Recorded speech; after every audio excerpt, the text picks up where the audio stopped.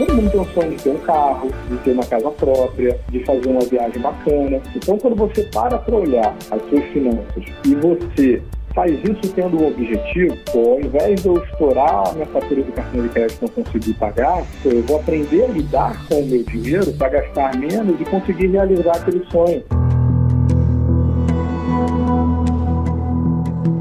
Podcast Entrevista é nacional. Acompanhe e curta nosso vídeo, se inscreva no canal e compartilhe. Dívidas no cartão de crédito atingem maior valor em oito anos. Vamos descobrir como utilizá-lo de maneira responsável com o educador financeiro Tiago Cesp. Vamos descobrir agora com o Tiago, gente, passo a passo, para a gente conseguir usar o cartão de crédito com aquela responsabilidade, definir limite, ou seja, maneira responsável de usar o cartão. Tem, Tiago? Tem, com ah. certeza tem, né? Como, como vocês comentaram, né? A maioria dos brasileiros hoje tem dívidas, né? Segundo pesquisa lá do Serasa Experience, 77% dos brasileiros estão Nossa endividados, né? É um, é um número realmente muito expressivo. E Cara... a gente se deixa levar pelo ah. cartão de crédito, né? Não sei se já aconteceu com você, mas quem nunca fez isso, Tiago? Todo mundo já fez. Olha, quando presta atenção, você fala, ué, como é que eu vou pagar um trem desse? É. é. Você vai passando pequenos gastos ali no cartão, passa 20, 30, 50, 100. É. Ah, é baratinho, né? Pô, é. baratinho, gostei disso aqui. Você vai comprando, quando vai ver a fatura vem 3 mil reais, né? Nossa. é verdade. Esse, eu já passei por e aí, isso. como é que faz para pagar, né? É. Mas tem um caminho, tem um manual de instrução aí pra gente, Tiago? Primeiros passos, né? Atenção com o quê? Essas pequenas ofertas aí, muito cuidado. É golpe, perfeito, gente. Não estou falando do golpe literalmente, mas é golpe para você gastar. Fala aí, Tiago. É, o primeiro passo, muito importante, é você realmente ter clareza de quanto você ganha e quanto você gasta, né? A gente acaba não fazendo esse exercício, né? De quanto é o seu salário líquido que entra na conta, né, não o bruto, depois que desconta os impostos, quanto entra na sua conta efetivamente, e somar os seus gastos, né? Normalmente as pessoas têm até de cabeça ali o gasto do, do, do aluguel, a conta de luz, né? Mas ela não some, não observa esses pequenos gastos do dia a dia. Então fazer um exercício, se você parar e olhar a fatura do seu cartão, o extrato do seu banco dos últimos dois, três meses, e refletir como foram os seus gastos, né? para onde foi o seu dinheiro e saber para onde ele está sendo conduzido, né? Porque esses pequenos gastos do dia a dia é que normalmente fazem um rombo grande e a gente não percebe, né? Por que eu falo isso? Já há 15 anos atuando no mercado financeiro, né? Eu comecei a ver isso na minha vida há 20 anos atrás. Eu com 20 anos, eu também me dava essa desculpa. Pô, mas eu sou um jovem de 20 anos, mas eu já pago aluguel, pago faculdade, então eu tenho muitos custos, meu dinheiro não dura até o final do mês porque eu tenho muitos gastos. Só que quando eu parei para refletir, tomando nota dos meus, eu vi que eu gastava dinheiro na época, não tinha Uber, né? Mas eu gastava com táxi, eu gastava com cafezinho na rua, eu almoçava na rua, eu jantava na rua. Então, esses pequenos gastos que iam se somando ali, esses 20, 30 reais, quando vai ver, ele dá uma proporção e chega uma fatura do cartão que você não consegue pagar. E aí os juros do cartão dá 12% ao mês, né? Às vezes 15% uhum. ao mês, é o maior juros que tem no mercado.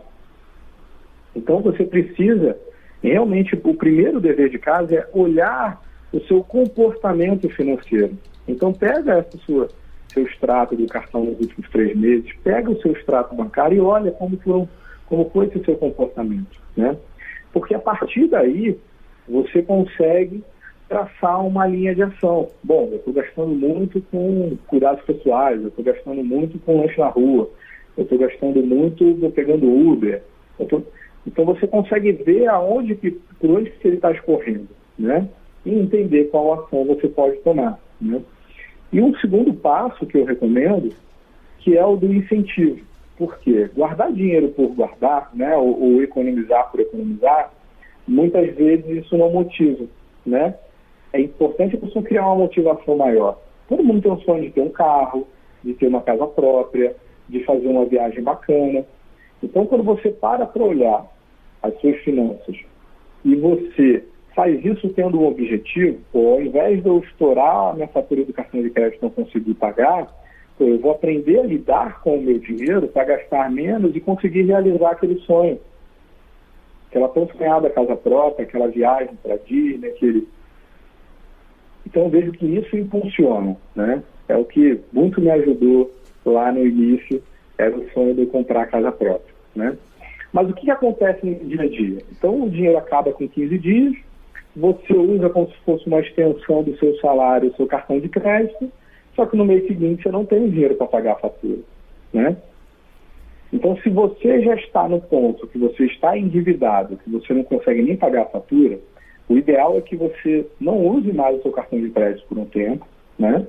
Que você deixe ele de lado, esqueça um pouco esses gastos, esses pequenos gastos, né?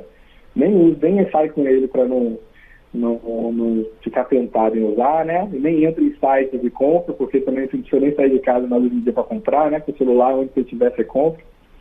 Então não entra nesses sites por um tempo, e se for o caso de você estar realmente sem pagar a fatura do cartão, pagando esses juros de 12, 13, 15% ao mês, pode ser interessante até você buscar a sua instituição bancária, porque muitas vezes um crédito pessoal que você pega, um empréstimo pessoal vai ter um juros menor, de 4, 5, 6% ao mês, ao invés de 15%.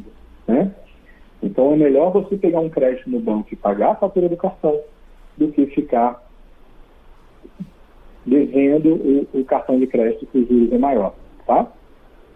Boa, boa pega essa aí, gostei. Só que é, é, se a gente tem esse manual e tudo, você acha que o que falta para as pessoas seguirem isso, o, o Tiago? Eu vejo que as pessoas têm conhecimento de que precisam deixar o cartão é, na carteira mesmo, sem tirar, dentro de casa, esquecer lá no fundo do, da gaveta e tudo, mas acaba que, em determinado momento, as pessoas lançam mão mesmo e, e, e ficam até mesmo assim.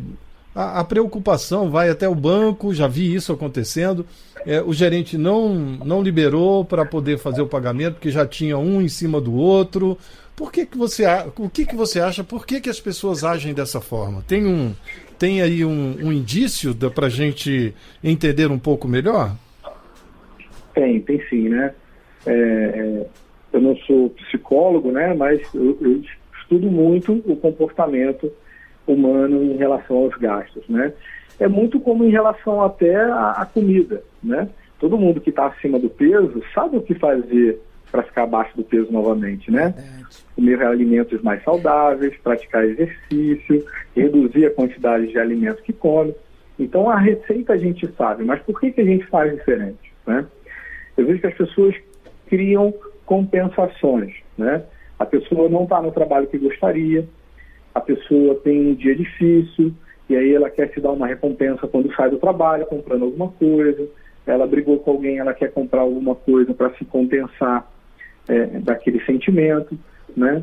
Então, esse trabalho de você passar a acompanhar os seus gastos, você consegue refletir e lembrar, bom, naquele dia eu gastei porque eu não estava me sentindo bem e eu quis me compensar. Pô, mas essa compensação está me gerando um juros caro agora. Então, isso de você parar e tomar nota, escrever num caderno seus gastos, você colocar numa planilha, passa a trazer a clareza para você, hum. né? Porque normalmente esses gastos eles acontecem e a gente nem se lembra que fez, né? São ações automáticas. As pessoas vivem num ritmo tão acelerado hoje em dia, elas nem percebem que gastaram, né?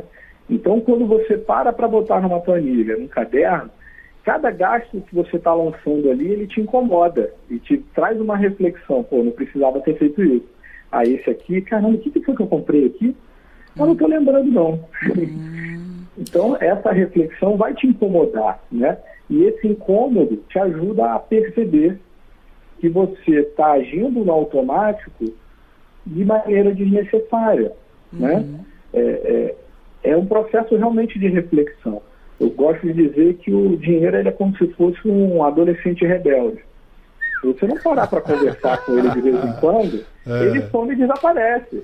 Verdade, verdade. Eu ainda vou puxar outro gatilho aí junto dessa sua informação, não sei se você me concorda comigo, que são os modismos, né? A gente vai gastando com o supérfluo, com aquilo que fulano acha bonito, para eu me integrar com aquele grupo, com aquela comunidade, eu vou fazendo esse gasto.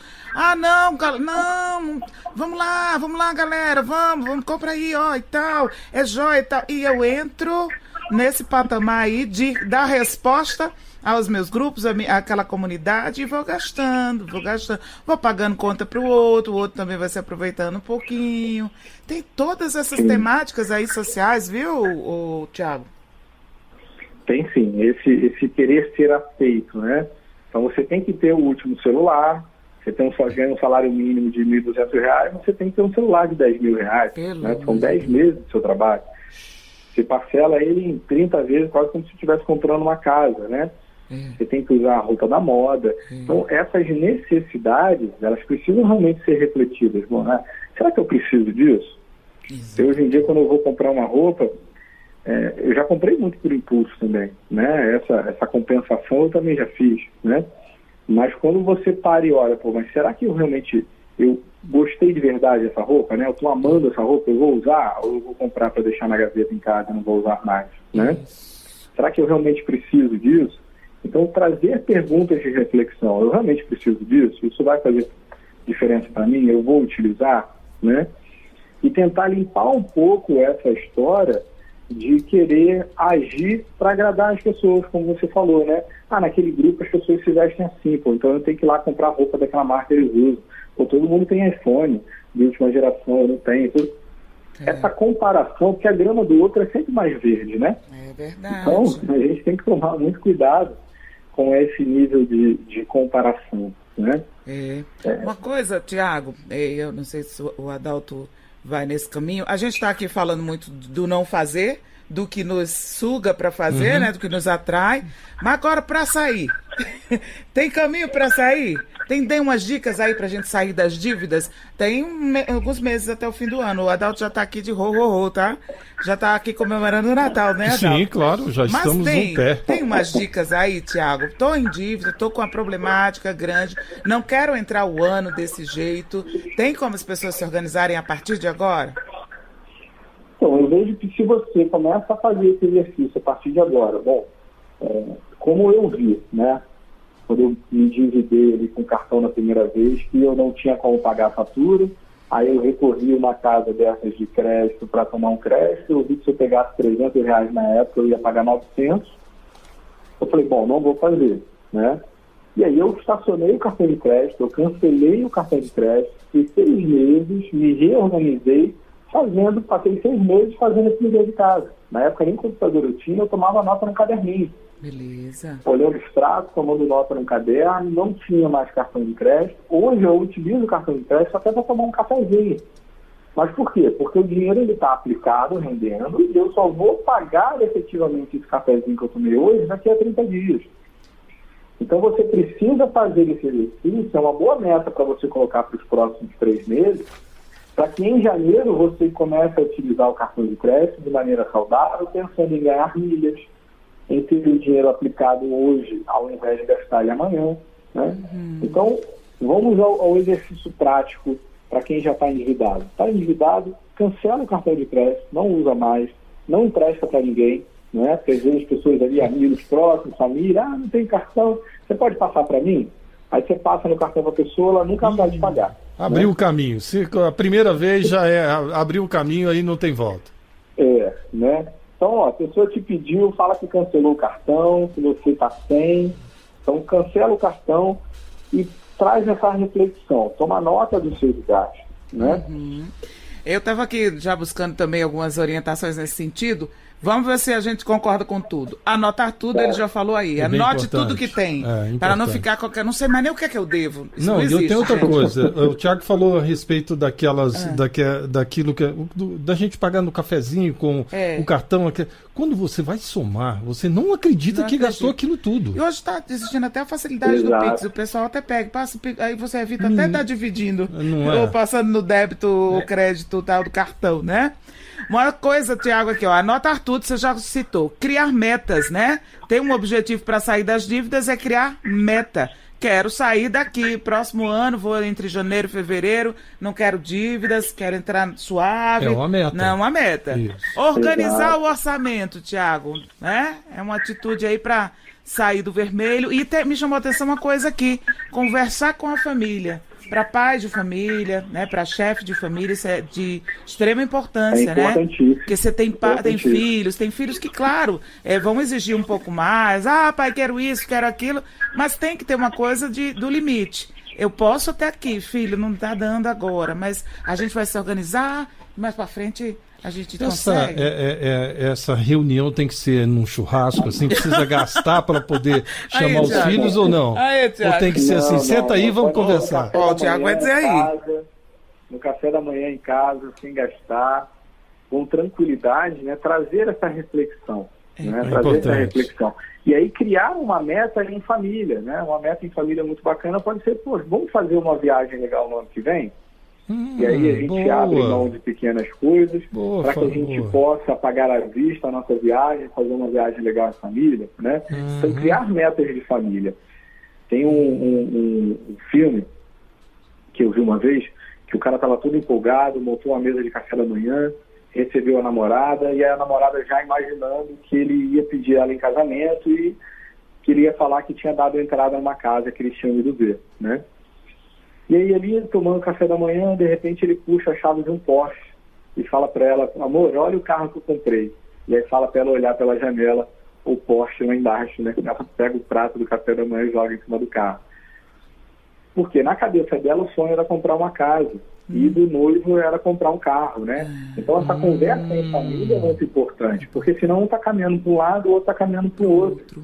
Boa. E um dos maiores motivos de separação segundo estatísticas também, né, não é nem a questão de traição, é mais brigas financeiras, né? Porque um esconde do outro gasto, compra as coisas, mas deixa escondido, né? Esconde fundo do armário para não mostrar que comprou.